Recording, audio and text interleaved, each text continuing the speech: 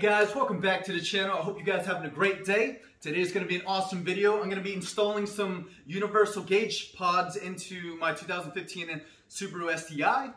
Um, after I do the installation, I'm going to show you how to uh, calibrate the Innovate Motorsports uh, gauges to make sure your min and maximums are good. Um, follow along.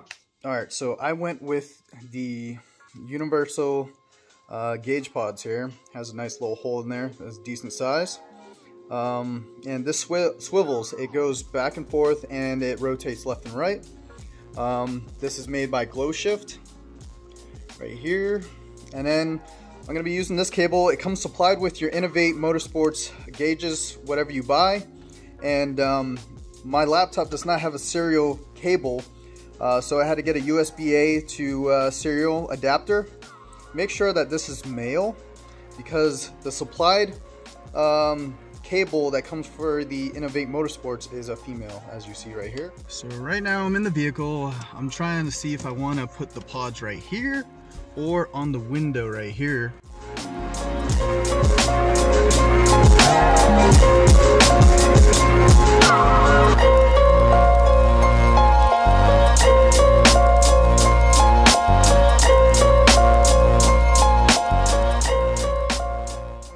Issue. The hole that I have right here is uh, it's definitely not big enough for this port. This is to the uh, the plug that goes to the O2 sensor. Um, I'm gonna go into the garage, draw out that hole a little bit bigger so this can fit, not have any issues. All right, I drilled the hole to about three quarters of uh, an inch. Uh, I got the plug right through. I'm actually gonna adjust the tightness of the swivel right here. It actually turns left and right as well, 360. It goes back and forth.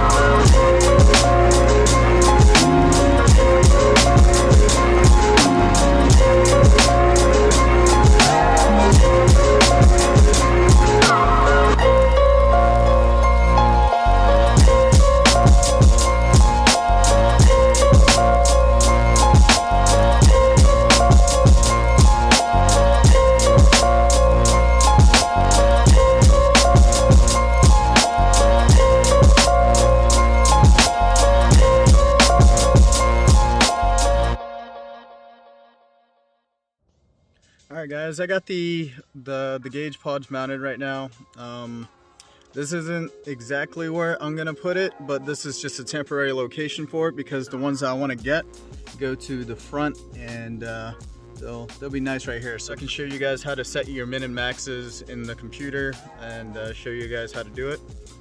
So what you're gonna do is get the, the plug that's associated with the, the gauges that you got from Innovate and then plug it into the side that says out. Right here, you can see. And uh, hook that up right there. And then hook this up to your serial port, which is right here. All right, now that I have it plugged in.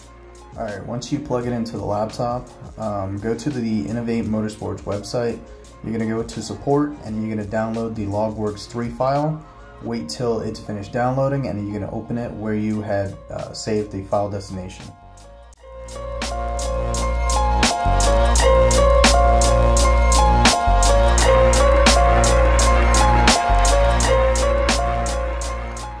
Once you open up your setup, uh, let it run through its course. Uh, mine's already installed, so I'm going to just run through this really quick and then I'm going to cancel it towards the end here.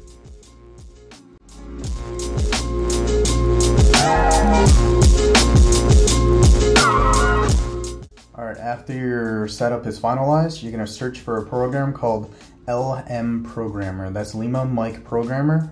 Uh, once you open it up, uh, it should find your gauge.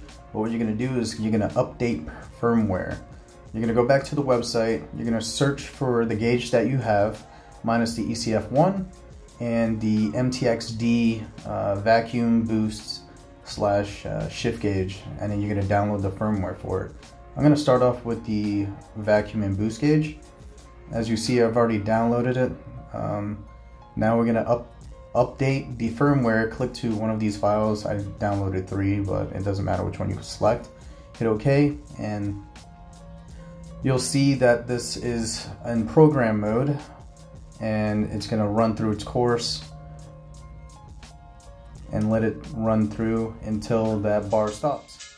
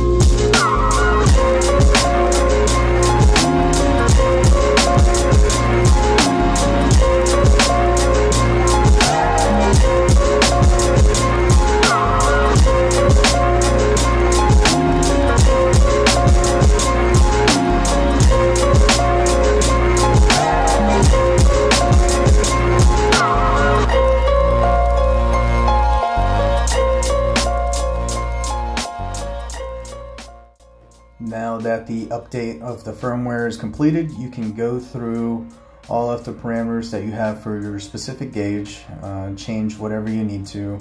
Um, for this stuff, I've already changed a few things, but you guys can go to town on whatever you decide to use. If I did have my shift gauge hooked up, you can change a bunch more parameters, but my main prerogative was just to make sure my minimal and maximum was set on the boost gauge.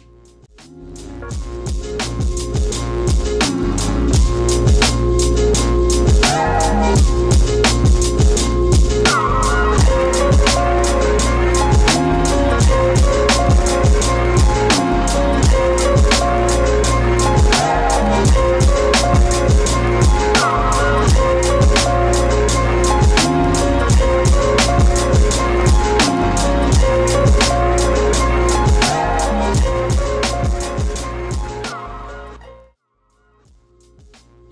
All right, now that you closed out the program, this is going to uh, what it's going to look like. It's going to set back to zero and then switch to the next gauge that you're going to be working on.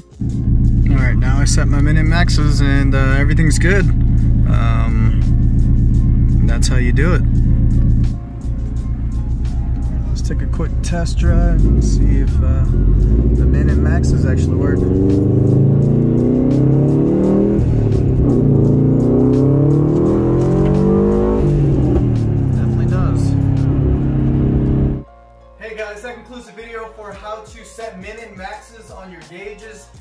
What other parameters that you can mess with.